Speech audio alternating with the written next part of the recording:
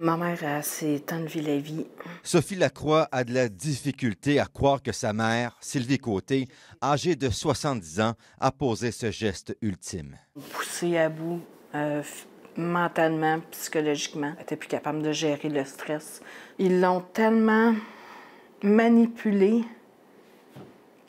que c'était rendu moi qui était euh, malsaine. Selon elle, sa mère a été victime d'une fraude amoureuse. Tout aurait commencé il y a trois ans sur Facebook Rencontre avec ce faux profil. Madame Côté aurait perdu beaucoup d'argent. Qu'est-ce que c'est tout ça? L'argent de la maison qu'elle a perdu.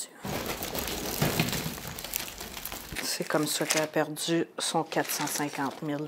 Toutes ces cartes cadeaux ont été achetées dans différents magasins à coût de 200 à 1000 dollars. Sa mère les prenait en photo et les envoyait par courriel à son allégué arnaqueur amoureux. Elle croyait vraiment que cet homme-là il existait. Sophie a bien tenté d'aider sa mère. J'ai échoué. Ma mère est décédée. Je m'en fous de l'argent. Moi, je voulais prendre le contrôle de ma mère pour pouvoir l'aider, pour pouvoir lui offrir les soins qu'elle avait besoin.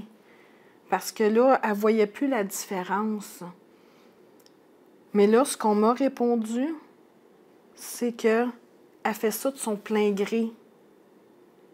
Que je ne peux pas présenter ça devant un juge. Les policiers lui avaient confirmé qu'elle était victime d'une fraude sentimentale et on lui avait proposé de l'aide. Les arnaqueurs l'ont tellement brainwashée.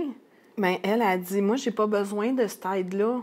Moi, j'ai besoin qu'on m'aide pour ouvrir un compte de crypto-monnaie n'a pu être établie. La ligne téléphonique du présumé fraudeur n'est plus en service. Le numéro provient de l'Afrique. Sylvie lui a annoncé le décès de sa mère par texto.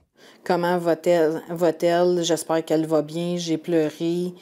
Euh, j'étais si triste. Vous voyez pas ça une seconde? Non. Non. Combien de femmes qui peut arnaquer, lui, là? Combien qui en arnaque en ce moment? Sophie prend la parole aujourd'hui dans l'espoir de changer les choses. Si je peux éviter qu'une personne perde un parent,